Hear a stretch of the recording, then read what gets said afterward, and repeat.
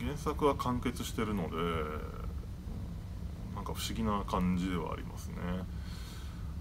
あまあまたあのキャラクターたちに会えるっていうのはなかなか楽しい経験だったなと思います。はい。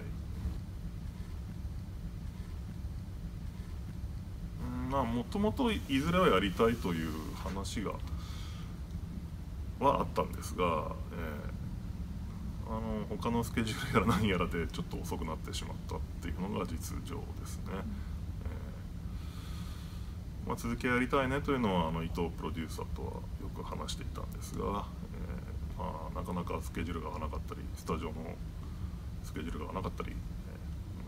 ー、僕自身のスケジュールもいろいろあったりで、えなかなか実現しなかったというのが本当のところです。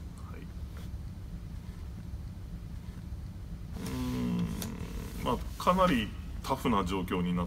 ていくんですけどこのシリーズでは宗介が。うんまあ困難にめげずに頑張って、ね、それなりにスカッとする展開も待っていますのでスカッとする気持ちのいい展開、も待っているので、えー、ちょっと途中でショッキングなことも起きるかもしれませんが、楽しみにご覧いただけるとありがたいです。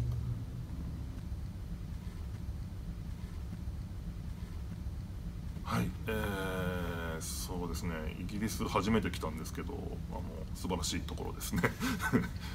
うん、それでまあイギリス人のキャラクターも出てきたりはするんですけどまさかこんな本場の人に見てもらえるとは思ってなかったんでなんか緊張しますね。